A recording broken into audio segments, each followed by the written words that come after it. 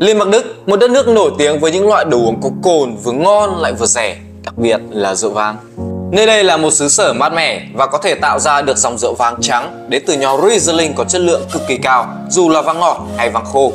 Đối với vang trắng khô, nước Đức còn có rượu vang sủi sec cực kỳ nổi tiếng trên thế giới. Còn về vang ngọt có rất nhiều loại khác nhau, chẳng hạn như vang đá ice wine hay vang ngọt đỏ giá rẻ như Rosso Noble. Trong video này, chúng ta sẽ nói về rượu vang Đức, tất cả những đặc điểm nổi bật, cách phân hạng và những vùng làm vang nổi bật của Đức.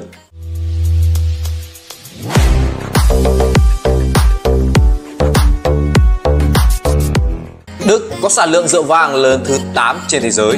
Diện tích trồng nho khoảng 103.000 hecta, tính ra chỉ bằng 1 phần 10 so với các cường quốc rượu vang như Pháp, Ý hay Tây Ban Nha. Mỗi năm, Đức sản xuất 1,3 tỷ chai rượu, trong đó rượu vang trắng chiếm tới 2 phần 3 tổng sản lượng. Đất nước này cũng tự hào về những cơ sở nghiên cứu và dạy nghề trồng nho. Tiêu biểu nhất là Đại học Geisehen thuộc hàng top đầu trên thế giới.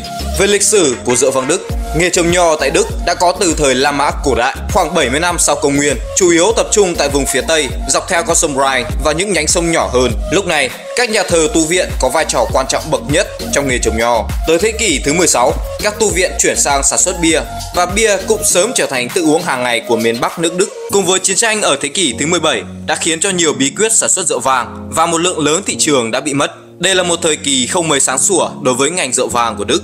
Mọi thứ được cải thiện vào thế kỷ thứ 18 dưới thời của các Napoleon.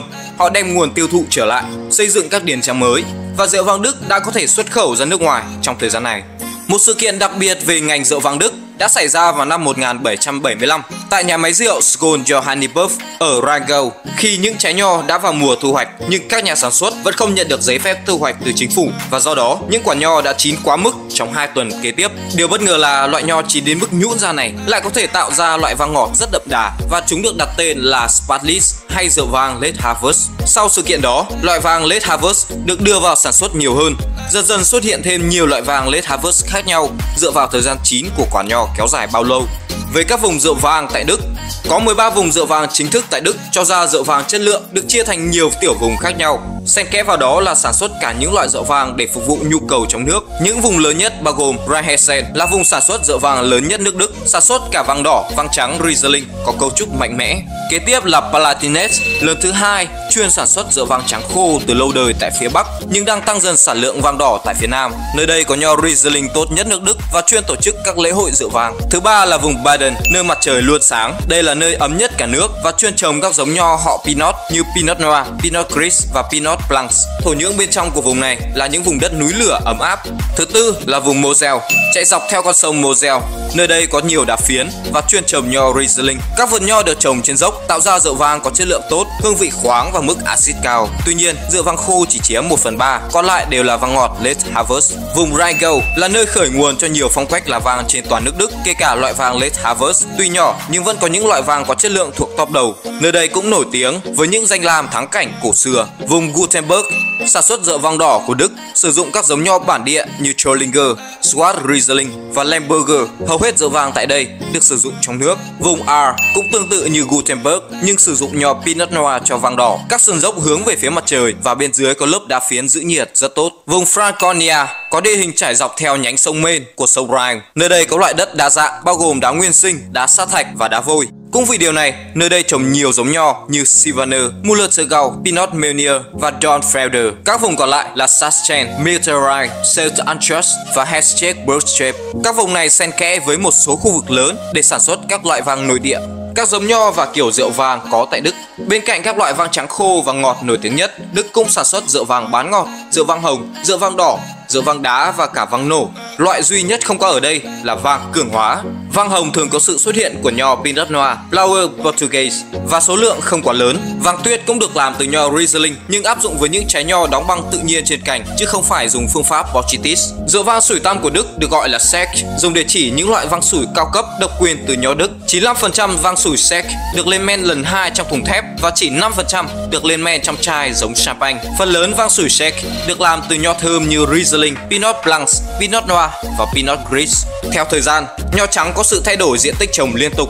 Vào giữa thế kỷ thứ 20, Sylvaner thống trị các vườn nho cho đến năm 1960 bị Muller Thurgau vượt mặt do năng suất cao hơn rất nhiều và đến năm 1990 Riesling đã trở thành quán quân cho đến tận bây giờ. Hiện tại, Riesling chiếm tới 23% diện tích trồng nho. Loại nho này có hương thơm đặc trưng và mức axit cao. Tuy nhiên, Riesling rất cần thời gian để chín và phát triển hương vị trong vỏ nho. Kế đó là Muller Thurgau chiếm 12,4% và đang giảm dần diện tích. Giống nho này có thể chín trong vòng 100 ngày, sớm hơn Riesling 30 ngày, trồng được ở những khu vực ấm hơn. Tuy nhiên, chất lượng không bằng Riesling. Các giống nho Pinot Gris, Sylvaner, Pinot Blancs tổng cộng chiếm khoảng 11,3%, thường được trồng trên các loại đá phấn để tạo ra cấu trúc mạnh mẽ và mộc mạc. Sauvignon Blancs và Chardonnay tổng cộng chỉ chiếm khoảng 2,5% và đang có xu hướng tăng. Jägermeister là một giống giữ vững diện tích trồng trong nhiều năm nay, khoảng 1% diện tích đất trồng. Giống nho này cũng rất thơm, tạo ra rượu vang ngọt khá chất lượng. Nho đỏ hầu như chỉ xuất hiện ở những khu vực ấm hơn, trừ Pinot Noir phải được trồng ở những nơi cực kỳ phù hợp. Giống nho này chiếm khoảng 11,5% diện tích đất trồng. John Felder là 7,7%. Giống nho này được đánh giá khá cao khi cho ra rượu vang đậm đà, nhiều tannin, một loại rượu khá khó để tìm thấy tại Đức. Trollinger, Pinot Meunier, Regen và Lemberger mỗi loại 2%. Khí hậu mát mẻ tại Đức đã tạo điều kiện thuận lợi để phát triển và sản xuất vàng trắng. Phần lớn những vườn nho chất lượng nhất đều nằm trên các dốc đồi và gần sông. Về phân loại của rượu vang Đức,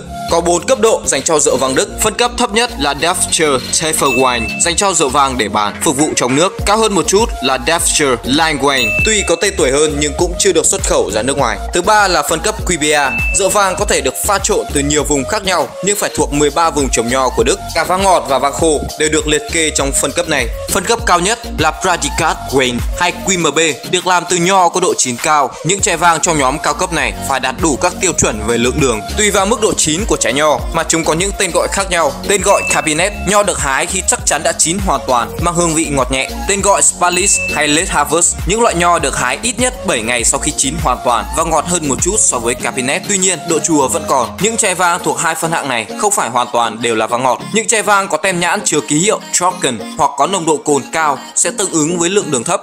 Ví dụ, những chai vang Cabinet có nồng độ trên 10% hay những chai vang Spalis có nồng độ trên 12% sẽ rất ít ngọt, thậm chí còn chua nhẹ. Tên gọi Auxlis, nho được chọn lọc thủ công từ những trái rất chín, mức độ ngọt thể hiện rõ và không còn vị chua. Tên gọi Berenales, nho thường chín đến mức bị nhũn ra, dùng để làm vang tráng miệng ngọt đậm. Tên gọi Trocken Berenales, nho gần như đã khô trên cành cây, cô đặc lại chỉ còn đường và mùi thơm. Từ Trocken trong tên gọi này dùng để chỉ loại nho khô chứ không phải là rượu vang khô. Tên gọi Ice Wine hay vang đá được làm từ nho đông lạnh tự nhiên, vị ngọt rất đậm đặc. Tuy nhiên, Ice Wine sử dụng các giống nho không bị nấm gây hại khi đã chín. Như các bạn cũng thấy, bảng phân hạng rượu vang của Đức hoàn toàn khác biệt so với những quốc gia châu Âu làm rượu vang khác. Vậy nên nếu muốn một chai rượu vang Đức ngon, hãy để ý thật kỹ tem nhãn. Tổng quan lại, rượu vang Đức là cả một kho tàng mới để chúng ta khám phá, xoay quanh những giống nho trắng thơm đặc trưng. Hãy ghé qua cửa hàng của chúng tôi tại các cơ sở trên toàn quốc để được tư vấn kỹ càng hơn và lựa chọn cho mình một chai vang Đức ưng ý nhất.